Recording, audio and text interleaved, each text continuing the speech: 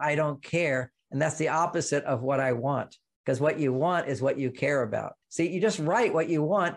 And then what I'm grateful for, what I'm happy about, what I'm excited about, and what I'm proud of. That's processing your emotions. Then you go back to your partner after that and you hang out around her giving her signals that you're not mad at her anymore as opposed to hey honey i'm out of the cave it's a little more graceful just to come in and kind of be nice and be friendly and so she knows that. And, then if she was to say, Well, you want to talk about what you're feeling? You say, No, it was no big deal. I was just overreacting.